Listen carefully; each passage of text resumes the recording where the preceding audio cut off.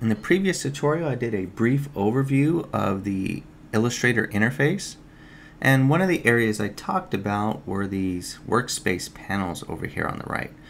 By default, right? And let's actually, let's look at that really quick. If you come up here, by default, the Adobe workspace is called Essentials. And if I click this down arrow, you can see a list of other types of layouts. I'm going to click on painting, for example. Actually, let's do typography. I'm going to click on typography, and you will notice the window options over here changed based on what Adobe thinks would be best for doing typography. And if I were to switch from typography to painting, you can see it switches again to the workspace panels that Adobe guesses or assumes you might like when you're doing digital painting. However, I have found that we want to go back to essentials, I have found that you want to customize this in a way that allows you to do multiple types of projects without having to switch workspaces. That way you're more comfortable with where things are. You get into uh, muscle memory habits. I used to lay mine out a different way until this summer. I was researching the new Illustrator CC 2017 and I was watching some tutorials from this legendary designer, Deke McClelland, and he is a really good trainer on Illustrator Photoshop and he went over his workspace layout and it popped in my mind like that makes sense. Why haven't I been doing it that way? So I'm going to show you how Deke does it. We're going to customize our workspace to match his. You might see me fumble a little bit through some of the early tutorials as this is a new workspace for me and things might not be where I'm used to. But in the long term, it's going to work out better and it's going to work out better for you to work this way. So I want you to be on Essentials.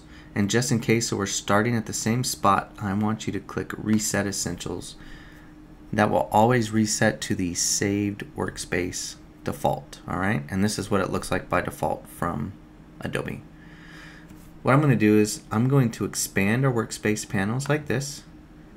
And you can see that we have some default options here. And I want to get rid of some of these. One, libraries. So if you do not have a Creative Cloud account, don't really need libraries. So libraries is a place where you can store some swatches and some settings in the Creative Cloud and any computer you go to, you can type in your username and password and you can get access to those settings. But we're not using that in here, so I'm going to drag that off. I clicked on libraries. I'm going to drag the panel off into the open area here, and I'm going to X out.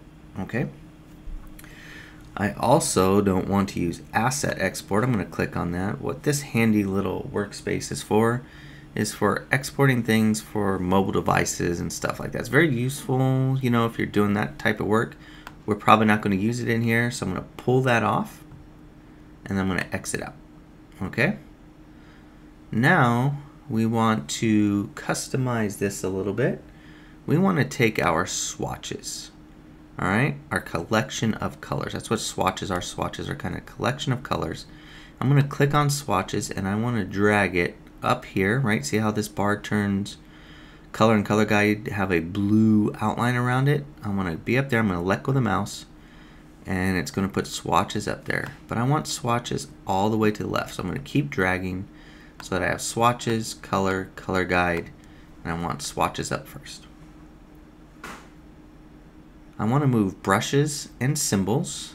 They get used less often. I'm going to move them over here into their own new column. You see how I'm dragging it over and there's this blue vertical column line? I'm going to drag it over there to see that blue vertical column. I'm going to let go. Oops. Actually, you know what? Let me go back. I messed that up a little bit. Let me move brushes back in. I'm going to take, instead of the tab for brushes, let me move that back. I'm going to take this empty gray bar space and I'm going to move that up here and I'm going to let go. We don't want two wide columns like this because it cuts up our, it takes up too much of our work area. So I'm going to, see that double arrow?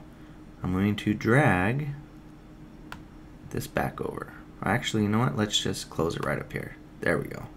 Close that panel. Now, let me pull my swatches up, just up to the, below the gray tones or grayscale there. Next, we want to, we're going to keep stroke, gradient, and transparency right here. Swatches is the first one, stroke is the first one, but we are going to select layers, make that first. We're going to move graphic styles, right? So I'm actually clicking on the word graphic styles. I'm going above that little thin line so that I'm this group here that has the brushes and symbols is highlighted blue. I'm going to let go. It's going to put graphic styles below that. Now we need to figure out what to do with appearance. I'm going to move appearance right up here. And we want appearance. We want to be stroke, appearance, gradient, and transparency.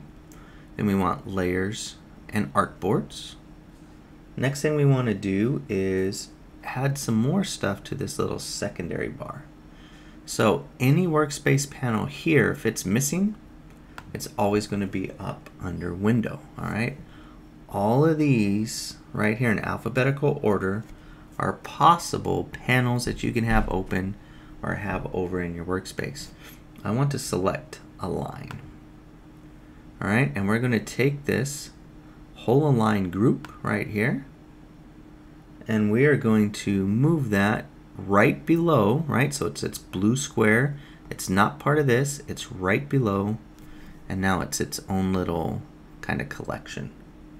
Next thing, we might do some typing. We're going to do some typography at some point. So we want to come under type and choose character.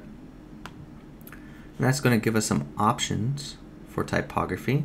And again, in this little empty space here, I want to drag and put that right below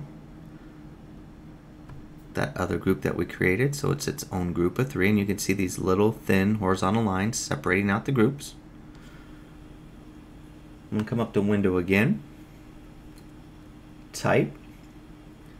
And then this time, character styles. And in this little empty space, drag over, put it right below. Then we're going to need window, info, and this is info and navigator. They're kind of different things. So I want to drag window off. So navigator and window are separate. And I'm going to move window in its new spot below character styles. I want to open up window and document info, which is info about our current document, RGB color, we're using inches, stuff like that. And I want to drag this with the eye, okay, with the info so that it's there. And we have our document info. We have our attributes, which actually we can pull off and we don't need attributes. And lastly, let's take the navigator panel and put it down there. Okay? It's a lot of little changes, but it's going to allow us to work smarter. I also, before we save this, I want to make these layers. And the reason why we have layers so prominent is it is one of the panels we're going to use often. This right here is a thumbnail image of the artboard, but it's so small we can't really see what would be on it if we were to draw stuff. So with this tab selected, layers, there's these three little lines right here. These are kind of our workspace or palette options. We want to come all the way down the bottom and choose panel options. All right. And we want our thumbnail to be quite large. So I'm going to change that from 20 pixels to 60. I'm going to click OK. Now you can see we have this nice large thumbnail. So we want to use this space for our projects throughout the year. I think it's going to make sense, going to allow you to work better. Um, with that said, we need to save it because this is no longer essentials. If you were to reset essentials right now, all that hard work would go away. So we need to make a custom workspace out of this. So down arrow, and we want to pick new workspace. You can call this whatever you want. I suggest MacLab because we're working in the MacLab. We'll call this MacLab for our new workspace and click OK. And you'll notice the name has changed to MacLab. I can now switch to Essentials and reset it to back where it was, right? Got rid of all our hard work, but luckily we made this one called the MacLab and it brings it right back. Also, let's say you accidentally drag some stuff off, right? You screwed up on accident, you need to fix it. Easy since we've saved this custom workspace. MacLab selected as a check mark next to it. We can come up and we can reset MacLab and it goes back to our saved format. So make sure you have that set up right. It will make following along with the future tutorials mo better.